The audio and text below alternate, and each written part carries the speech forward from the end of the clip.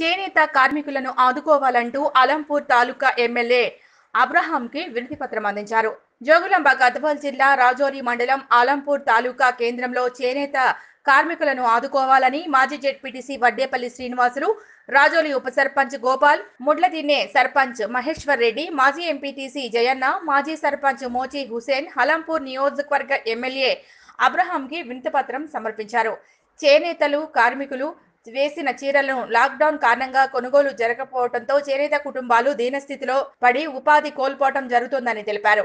మీ తరపున ప్రభుత్వ చొరవతో టెస్కో సంస్థ ద్వారా చేనేతలు ఉత్పత్తి చేసిన చీరలను కొనుగోలు చేసే విధంగా చర్యలు చేపట్టాలని అలంపూర్ నియోజకవర్గ ఎమ్మెల్యే అబ్రహాంని కోరారు. అదేవిధంగా చేనేత కుటుంబాలు ఆర్థికంగా దెబ్బతినడంతో వారికి అండగా ఉంటూ ప్రభుత్వం చేనేత కార్మికులను అన్ని విధాలుగా ఆదుకోవాలని అన్నారు.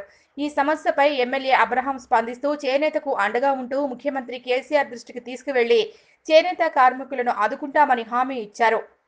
ఈ కార్యక్రమంలో మల్లేష్ లోకేష్ మాజీ కో ఆప్షన్ సభ్యులు అయూబ్ ఖాన్ తదితరులు పాల్గొన్నారు.